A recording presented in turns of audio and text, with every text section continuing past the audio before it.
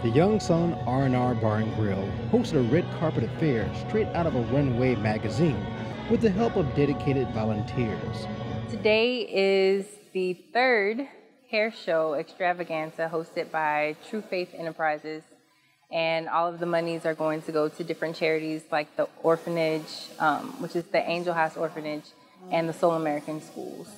For one model, this show is more than just strutting fashion on stage. It's bringing light to charity in a way that people can relate to.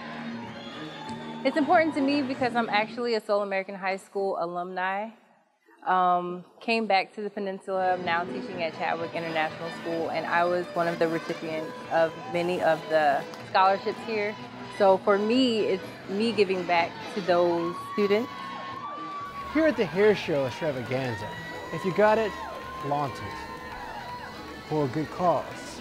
Specialist Simon McTizic, Young Song, Korea. What y'all think about that?